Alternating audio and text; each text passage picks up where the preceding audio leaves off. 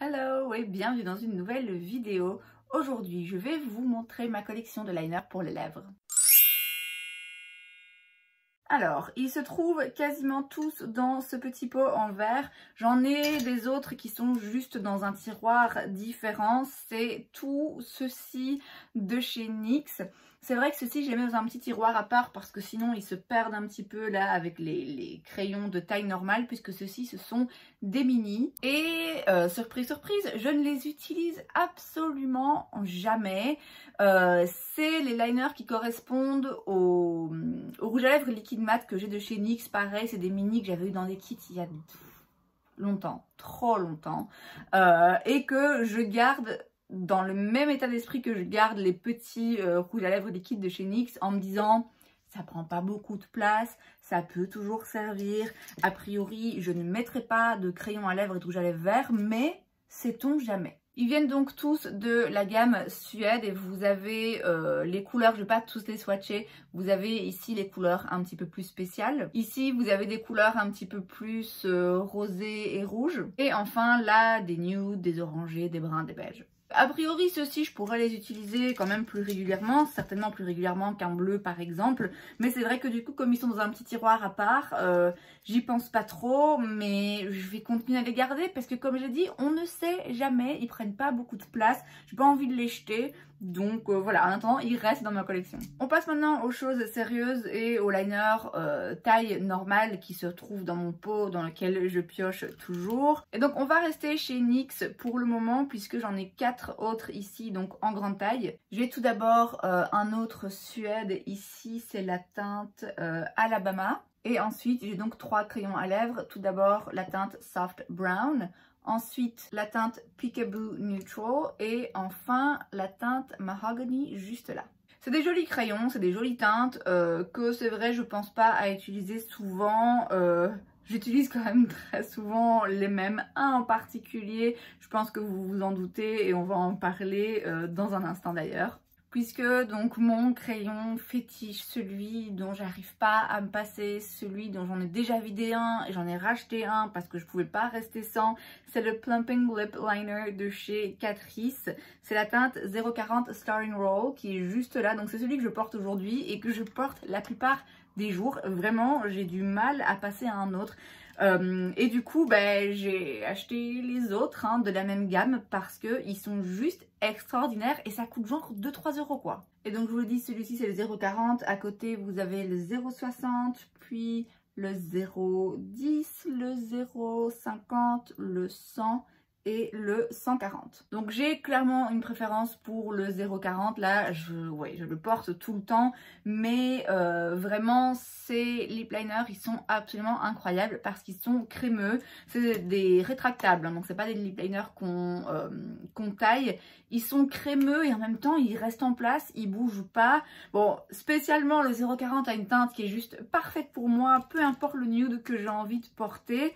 Euh, mais de manière générale, les autres couleurs sont très bien faites aussi, sont assez intéressantes. Mais je vous dis, moi ce que je trouve vraiment absolument dingue, c'est la texture. Ils sont hyper crémeux, donc ils glissent bien et en même temps ils glissent pas trop non plus. Parce que parfois avec les, euh, les crayons à lèvres trop crémeux, euh, bah du coup on en met un petit peu partout, on risque de se louper. Ici je me loupe jamais, jamais. Ils sont absolument incroyables. Franchement, si vous voulez trouver, n'hésitez pas une seule seconde parce que ça coûte une poignée d'euros et ils sont top.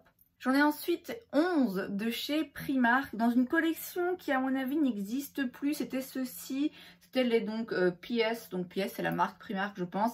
Lip Liner Pencil, à l'époque euh, j'avais été chez Primark avec ma filleule et je nous revois encore à genoux dans le rayon en train de tous les prendre quoi. Vraiment, allez hop on les prend tous pareil pour les rouges à lèvres liquide mat. J'avais absolument tout pris parce que pareil hein, ça coûtait genre 1 euh, ou 2 euros. Je pense que je les ai quasiment tous gardés, il y en a peut-être quelques-uns dont je me suis séparée mais de base, je les garde parce que franchement, ils sont tout à fait, euh, tout à fait corrects. Des crayons ici qui se taillent. Il y a certaines teintes que très honnêtement, euh, j'utilise pas forcément.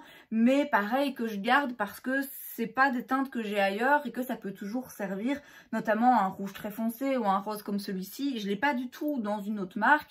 J'ai pas envie un jour d'avoir besoin d'un crayon rose, d'aller en acheter un à 10 euros alors que j'en ai un qui est là et qui est tout à fait correct. Donc pour les teintes, on a Bombshell, on a ensuite Velvet Touch et le troisième c'est Thorn. Donc celui-ci, le Thorn, je le mets quand même assez euh, régulièrement. Ensuite, on a, à les comprendre, Victoria et Victoria qui sont pourtant, on le voit, différents. Ils ont le même nom, je sais pas si c'est une erreur euh, d'imprimante ou quoi. Le euh, Pluto Nude ici, c'est la teinte taupe. On a ensuite un rouge très foncé qui s'appelle Ruby. Vintage Rose juste là qui est aussi un que j'utilise assez régulièrement. Nude in the Buff et Spice juste là donc qui sont un petit peu plus nude brun.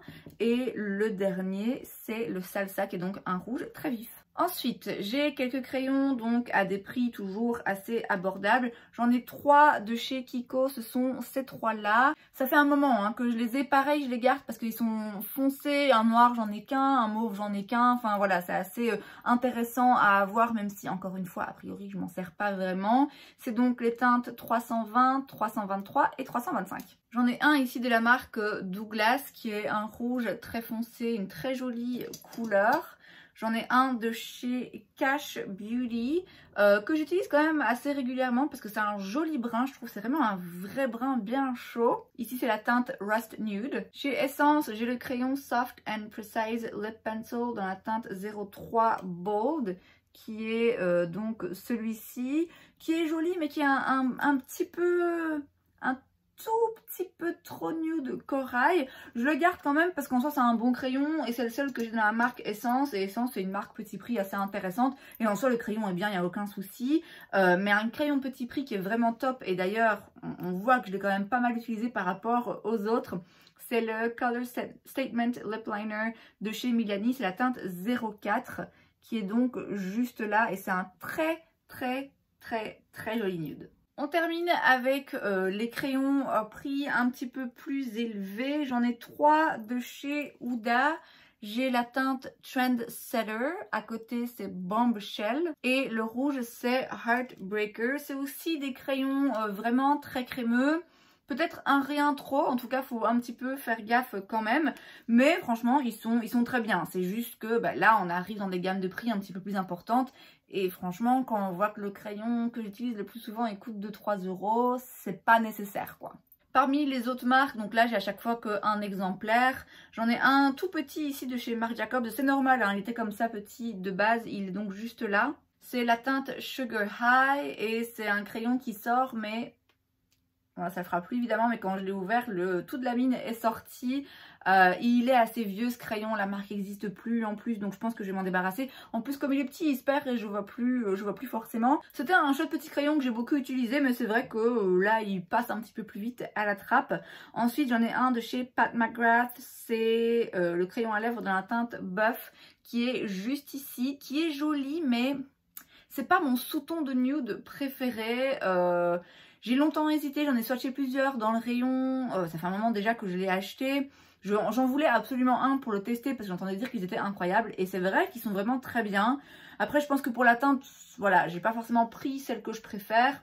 Et de nouveau, c'est pas, pas utile, c'est pas nécessaire de dépenser 25, 30, 35 euros dans un crayon à lèvres euh, franchement, il y a moyen de trouver moins cher. Après, bon, si vous voulez quelque chose qui soit vraiment très spécial et qu'en soi, vous utilisez toujours le même, voilà, pourquoi pas. Mais c'est vrai que dans ma collection, c'est moins utile. Un autre crayon qui coûte un petit peu cher, mais je dois bien avouer que celui-là, je suis contente de l'avoir. C'est le Pillow Talk Medium de chez Charlotte Tilbury, c'est donc le troisième ici. C'est un crayon que j'avais eu en cadeau avec le rouge à lèvres à l'époque où je travaillais euh, chez Sephora et il est vraiment très très bien. Non seulement la couleur, donc ici c'est le euh, Medium, hein, c'est le numéro 2, donc c'est pas le Pillow Talk euh, classique, je vais dire, mais moi je trouve ça encore mieux parce que du coup ça donne vraiment des lèvres encore plus intense, plus profonde.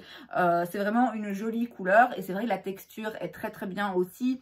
De nouveau, on est sur quelque chose d'assez crémeux pour que ce soit facile à utiliser et en même temps euh, qui bouge pas et qui évite les ratures. Il est vraiment très très bien, je dois l'avouer. Chez Makeup Forever, j'ai un Artist Color Pencil. C'est donc un crayon euh, tout usage. Hein. donc en soi, on n'est pas obligé de l'utiliser uniquement sur les lèvres. On peut aussi l'utiliser sur les yeux.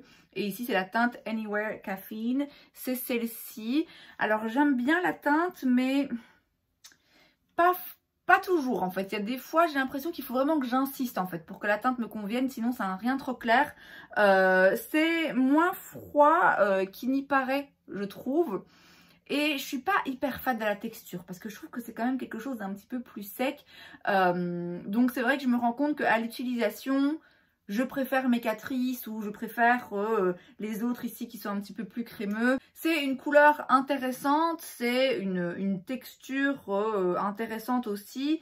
Moi, c'est pas ma préférée. J'ai l'impression de devoir insister un petit peu. Ça reste un joli crayon et de nouveau un crayon pas donné, donc évidemment je garde. Et enfin, j'ai un crayon de chez MAC. J'ai l'impression qu'ils sont gigantesques les crayons de chez MAC. Euh, c'est donc le crayon à lèvres classique. Hein. Ici, c'est la teinte Hover. Donc c'est le brun ici. C'est un brun mais qui est quand même un petit peu froid. Euh, c'est aussi un crayon que j'utilise assez souvent quand je veux avoir des lèvres un petit peu plus prononcées. On est sur une texture ici qui est un petit peu plus sèche que les autres, mais pour autant c'est pas quelque chose de... Euh, qui, accroche trop et qui fait mal, vous voyez, même si c'est vrai que j'ai déjà entendu dire et j'ai déjà trouvé que certains crayons MAC accrochaient un petit peu. Je dois avouer que finalement, quand, euh, on prend bien le temps de le travailler, c'est pas, euh, pas un problème. Donc c'est plus vers le sec, moins crémeux. Mais bon, du coup aussi, ça reste en place d'autant plus. Donc dans ma collection de crayons à lèvres, on l'a vu, il y a de quoi faire. Il y a des teintes que j'ai plusieurs fois qui sont très ressemblantes. Euh, mais de manière générale, c'est pas une partie de ma collection euh, pour laquelle je ressens le besoin souvent de trier. Parce que bah voilà, la plupart ils sont ici dans un pot. Même si c'est vrai que j'utilise quand même quasiment les trois mêmes qui tournent en permanence. J'aime bien avoir le choix et je trouve que par rapport au reste de ma collection, ça reste quand même gérable. Et c'est donc tout pour cette vidéo, j'espère que ça vous a plu. Si c'est le cas, n'hésitez pas à laisser un like. Vous pouvez aussi vous abonner à ma chaîne parce que c'est gratuit, donc pourquoi pas. Et moi, je vous vois la prochaine fois. Bye